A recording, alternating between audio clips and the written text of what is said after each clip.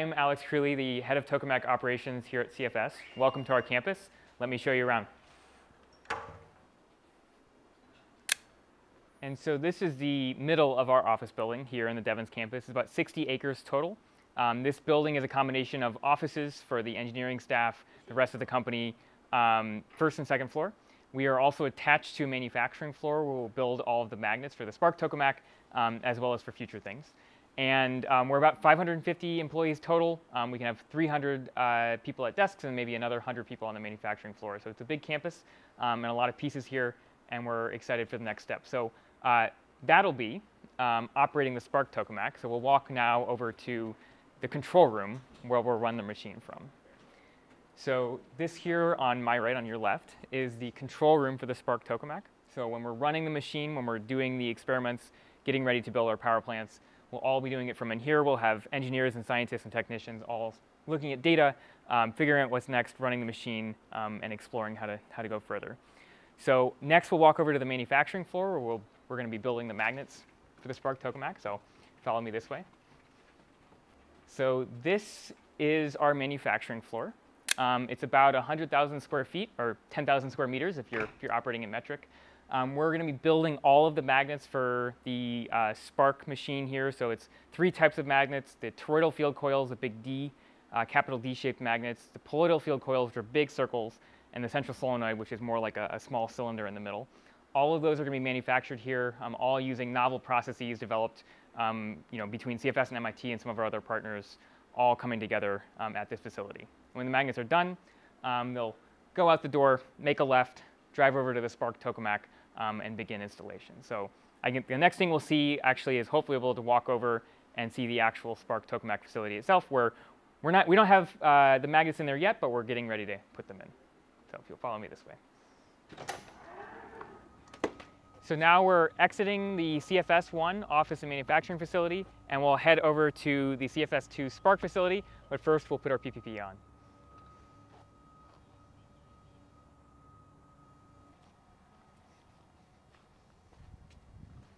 So this is the SPARC site. As you can see, it's still under construction, but we've made a lot of progress. It's always worth noting that a little bit over two years ago, there was nothing here. Um, this actually used to be a former military base, um, but it was just like basically a field.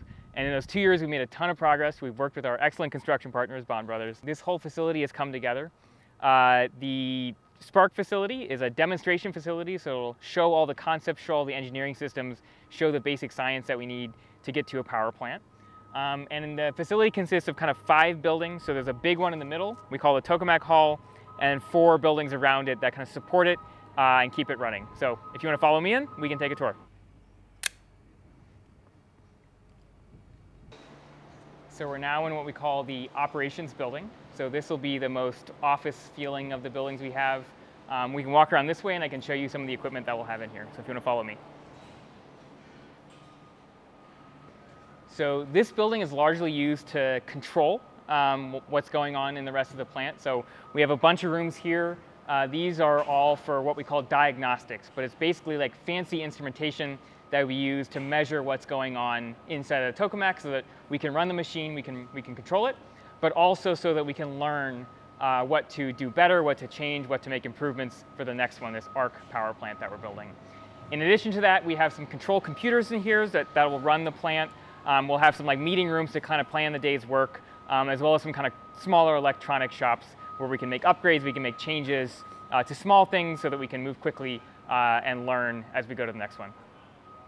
Um, and so we'll head this direction next um, into the RF building. Hey, so now we are walking from the diagnostics building, the, the operations building, into the radio frequency building, the RF building. And this one's really important because this is how we heat the plasma, heat the fuel in our fusion plant to get it hot enough where it starts fusing. So uh, in a tokamak, in a, a, fusion machine, if you want, you want to start doing fusion, you need the fuel to be like 100 million degrees, so very hot. And we do that with radio waves. So these big pipes behind me, these are what we call waveguide. Uh, they carry radio frequency waves. We'll generate those waves up at the top of this building. Uh, they then go through a little trench um, and come up next to the tokamak and plug into the side. And that's how we heat up the, the plasma in the tokamaks. The rest of this building, this big kind of central hall here, uh, is where the magnets will come in. So we call this the assembly hall. Um, it's like a staging area for all the pieces that are going to come into the tokamak. So trucks can come in. We have two big bridge cranes that will pick stuff off the trucks, get them ready, um, eventually put them onto what is uh, essentially like a very big dolly, and we kind of roll them in to where the tokamak is going to be put together, um, and we start assembling the thing. So if you guys want to follow me in, we can see the tokamak hall.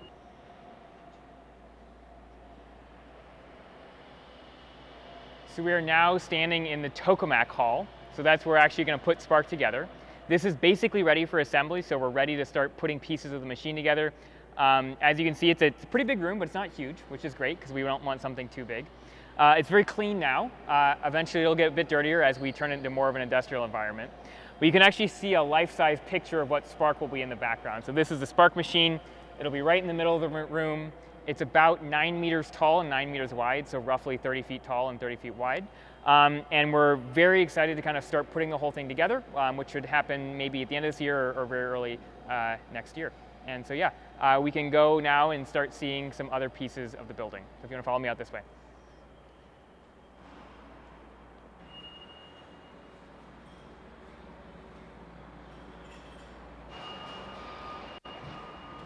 So we are now in the power building.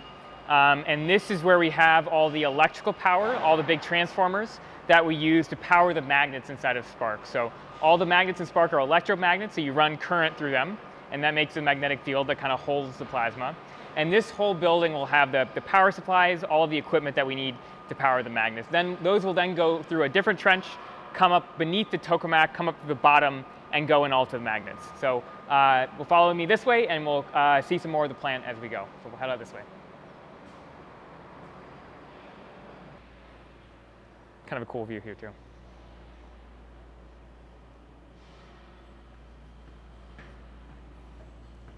So we're now on the little balcony, uh, the second floor of the tokamak hall. So you can now see all these like holes that'll go through the wall. That's where we make all the measurements that we need to run the plant. Uh, you can see these big cranes up here on the top. We'll use those to put the tokamak together. Um, I think this is a really great vantage point to kind of see the full scale model of the machine. So you can see it like what it'll look like once it's all put together.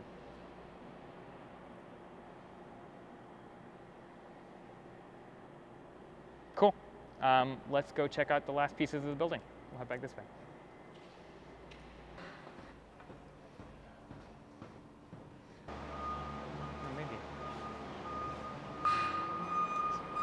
Hop in here. So this is the last building uh, in the SPARC facility. This is utility building. So this is where we have all of the equipment to keep the magnets cold and to get the power out of the machine once we've made it. So this is the tour. Um, we can head back outside.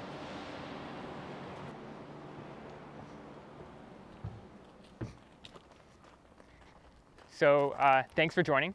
That's the tour of the SPARC buildings. Uh, we're making a lot of progress and we'll continue to work on it. Uh, the buildings are nearly done. Um, and then after that, we'll start installing all the equipment inside, both the industrial equipment, but then also the pieces of the SPARC tokamak itself. So if you come back in a few months or in a year, uh, it'll look different, which is good because we're making progress um, and taking one step closer to both operating SPARC, but then eventually getting to a full power plant like ARC. So thanks for coming. Uh, come back soon.